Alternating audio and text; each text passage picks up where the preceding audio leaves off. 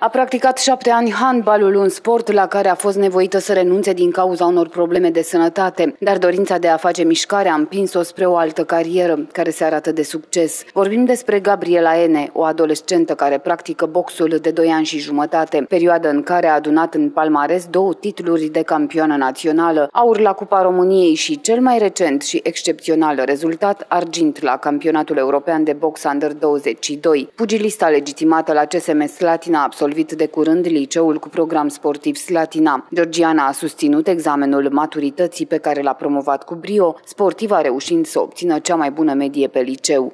Întotdeauna se poate și mai bine. Am obținut media 9,10 și sunt destul de mulțumită de rezultat. Vreau să intru în uh, cadrul jandarmeriei. Și dacă nu se poate, o facultate de drept sau facultatea de sport, ca să, să ies profesoară. A fost un an destul de dificil în care a îmbinat cariera sportivă cu școala, dar s-a descurcat foarte bine la ambele capitole. Pentru aceste rezultate, antrenorii Constantin Gălbenușe și Luminița Turcin au numai cuvinte de laudă la adresa Gabrielei. Cum am spus de fiecare dată, este genul de copil cu care poți să lucrezi foarte ușor. Este un copil inteligent, ca drept dovadă și rezultatele pe care le-a obținut la Uh, examen de bacalaureat, din câte am înțeles a ieșit prima pe liceu.